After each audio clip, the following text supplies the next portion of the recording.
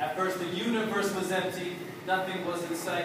A voice goes aha, sharply appears a light, floating energies begin attracting to this force that is bright. Polarizing in eggshells, hovering at a great height. In comes sunbird, golden knees flying in peace. Eggshells hatch, ravens and doves are released. Silvera moonbird gives milk for them to feast. In comes loon, Venus bird from the east. Heavily follows Ledgar, the Saturnian beast. With wings, takes ravens and doves and rings. Loom alone, the center of all universal things. Things to herself, copper beat begins to sing. A song connecting, wondering what harmony she brings. Five points of unity, every angle clause claim. She summons ravens and doves to form a pentagram of blame. We're done. See, there you go.